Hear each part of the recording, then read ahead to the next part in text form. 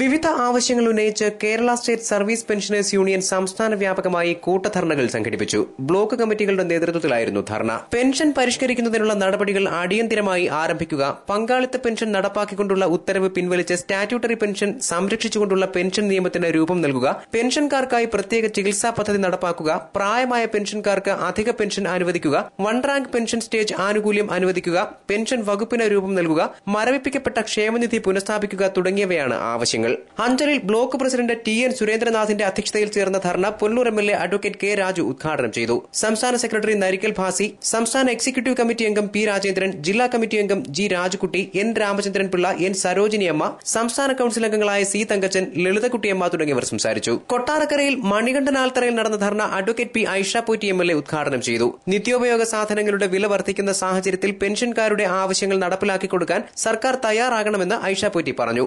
നിത്യോപയോഗ സാധനങ്ങളുടെ ജീവിത ചെലവ് ചികിത്സാ ചെലവ് എല്ലാം വൻ യാത്രാ ചെലവ് അടക്കം മുഴുവൻ വർദ്ധിച്ചു വരുമ്പോൾ താങ്ങാൻ വയ്യാത്തോണം വിലക്കയറ്റവും വരുമ്പോൾ കിട്ടുന്ന പെൻഷൻ കൊണ്ട് ജീവിക്കാൻ കഴിയില്ല.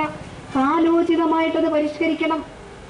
ഒരു സംശയമില്ലാത്ത കാര്യമാണ് ഏറ്റവും ന്യായമായിട്ടുള്ള പെൻഷനേഴ്സ് യൂണിയന്റെ ഈ അവകാശം ഈ ആവശ്യം.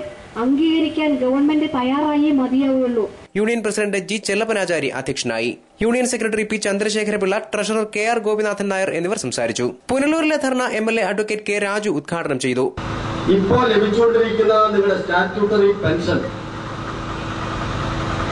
എന്നെന്നും നിലനിൽക്കും എന്നുള്ളൊരു ധാരണ ആർക്കും വേണം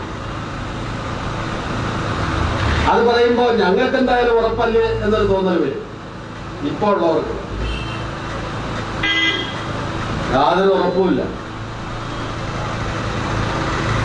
സ്റ്റാറ്റ്യൂട്ടറി പെൻഷൻ പാർലമെന്റിലോ അല്ലെങ്കിൽ നിയമസഭയിലോ പാസ്സാക്കാതെ തന്നെ ഒരു ഉത്തരവ് വഴി ആരോടും ആലോചിക്കാതെ നടപ്പിലാക്കാൻ കഴിഞ്ഞ ഒരു സംഗതിയാണ് ഈ പങ്കാളിത്ത പെൻഷൻ എന്ന് പറയുന്നത് കേരളത്തിൽ. അപ്പോൾ സ്റ്റാറ്റ്യൂട്ടറി പെൻഷൻ നിലനിരുന്ന സ്ഥാനത്ത്